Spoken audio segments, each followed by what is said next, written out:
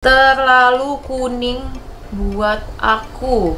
Jadi kayak kalau kalian memiliki warna-warna yang kulit tan ini kalian bisa pakai warna 02 harusnya dia buat kalau kulit aku tuh light to medium cuman ini enggak banget.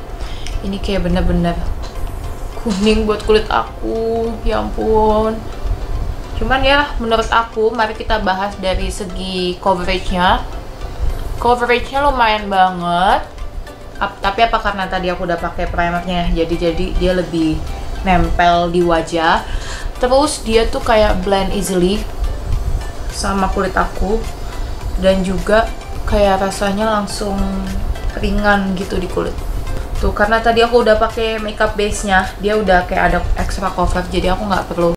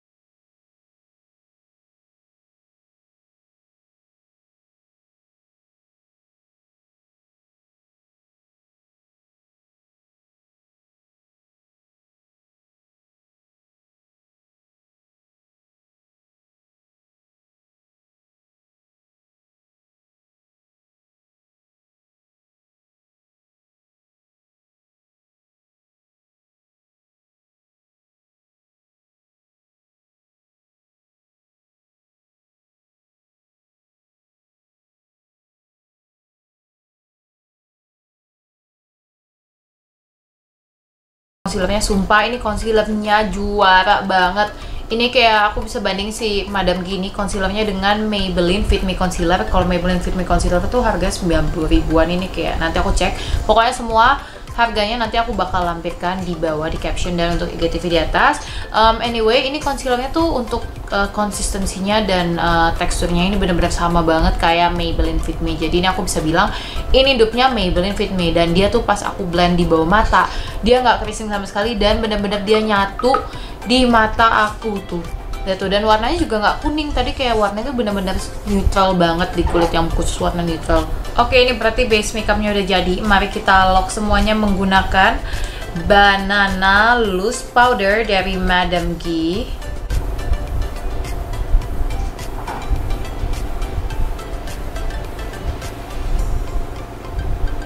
Selanjutnya, mari kita beralih ke blush on. Nah, blush onnya masih dari Madam G, yaitu ini adalah Madam G Sweet Cheek Blush yang 02. 02 ini warnanya kayak ke peach, tapi peach tua gitu. Ini aku swatch di tangan supaya kalian bisa lihat. Nah, ini kalau misalnya tadi aku lihat uh, pas di sini sih warnanya peach, tapi ternyata pas aku pakai di tangan aku pas menyentuh ke kulit dia tuh langsung warnanya berubah kayak warna hot pink tapi little bit mix of coral kayaknya ya mari kita daripada penasaran kita langsung coba aja ini aku bakal coba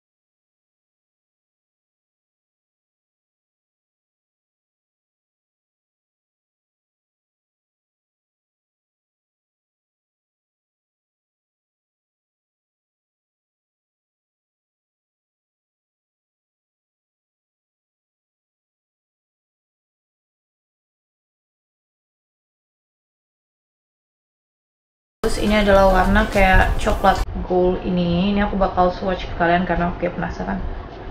Gila ini goldnya bagus banget. Tuh coba aku swatch di tangan ya. Wow. Aku bakal coba aplikasikan pakai tangan. Oh my god ini goldnya. Dia nyatu banget di kulit aku tuh kalian bisa lihat ini bagus banget dan dia nggak ada fall off loh. By the way ini dari tadi aku lupa bilang kalau eyeshadownya ini nggak ada fall off cuman agak sedikit susah di blend dan kurang pigmented. Cuman nggak masalah sih ini kayak warnanya bener-bener bagus tuh. Itu cantik banget tuh. Next buat men lebih menonjolkan mata aku. Aku bakal pakai paling warna paling ini nih. Si pinky pinky cute ini. Tapi dia pas diituin ke tangan aku dia tuh warnanya lebih kayak warna pure gitu. Aku bakal coba pakai di sudut mata aku menggunakan uh, kuas bawaan dari Madam Bing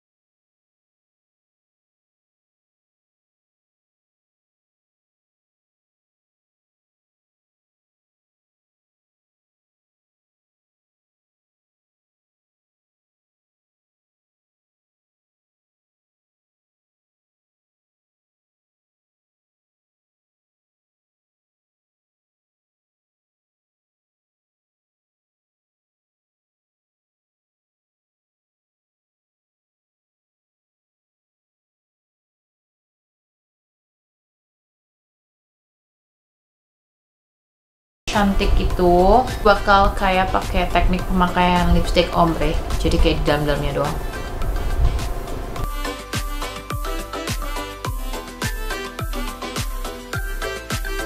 Ini bener-bener warnanya bagus banget dan dia hmm, kayak pigmented tapi nggak bikin bibir kering. Dan lagi warna 0601 ini aku suka banget karena dia bikin muka aku kelihatan pop out gitu So ya, jadi ini makeupnya udah jadi dan aku menggunakan semua produk One Brand Tutorial dari Madam G.